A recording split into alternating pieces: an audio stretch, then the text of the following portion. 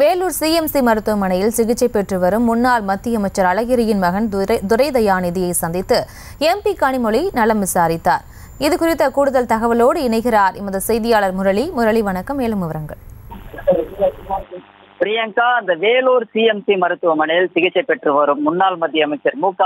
அழகிரியின் மகன் துரை தயாநிதியை அவருடைய அத்தை கனிமொழி நேரில் சென்று தற்போது நலம் விசாரித்து வருகிறார். உடல்நலக் குறைவு காரணமாக அந்த வேலூர் சிஎம்சி மருத்துவமனையில அனுமதிக்கப்பட்டுள்ள மு க. அழகிரியின் மகன் துரை தயாநிதி கடந்த மா- கடந்த மார்ச் பதினாலாம் தேதி சென்னை அப்போலோ மருத்துவமனையிலிருந்து சிஎம்சி மருத்துவமனைக்கு உயர் சிகிச்சைக்காக மாற்றப்பட்டார்.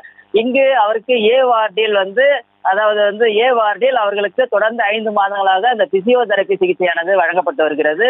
இந்த நிலையில் இன்று வேலூர் மாவட்டத்திற்கு அந்த வேலூர் மாவட்டத்தில் நடைபெற்ற அந்த கலைஞர் நூற்றாண்டு விழாவிற்கு வருகை- வருகை தந்த அழகிரியின் சகோதரியும் துரை தயாநிதியின் அத்தையுமான அந்த கனிமொழி அஹ், தனது அண்ணன் மகன் துரை தயாநிதியை சந்தித்து நலம் விசாரிப்பதற்கு தற்போது சிஎம்சி மருத்துவமனையில் சென்று தற்போது இருபது நிமிடங்களுக்கு மேலாக துரை தயாநிதியிடம் நலம் விசாரித்து வருகிறார்.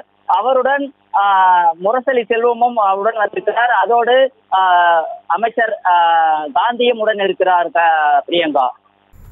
விவரங்களுக்கு நன்றி முரளி.